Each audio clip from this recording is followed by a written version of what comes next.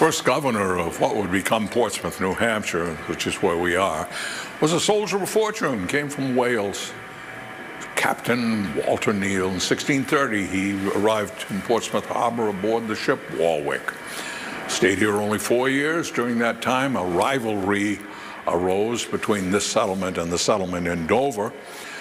And that settlement was governed by a man named Thomas Wiggin. And just an aside here, you might find interesting, or maybe not, there's still a guy named Thomas Wiggin living in New Hampshire, and he is the direct male descendant of the original Thomas Wiggin. La-di-da. Lives in Peterborough. Second interesting part of this is that this Thomas Wiggin is married to my ex-wife. And they're both interesting and nice people.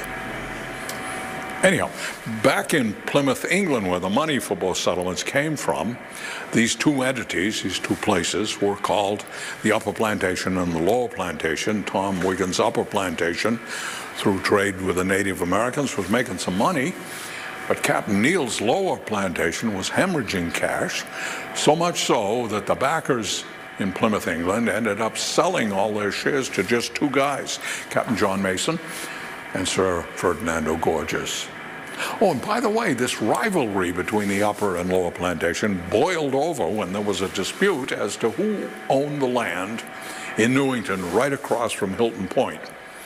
Thomas Wiggins said it was his, Captain Neal said it was his.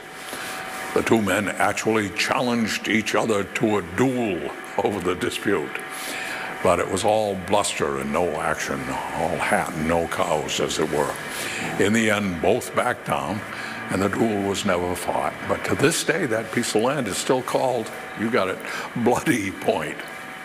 By the way, in the end, the Lower Plantation did win the dispute.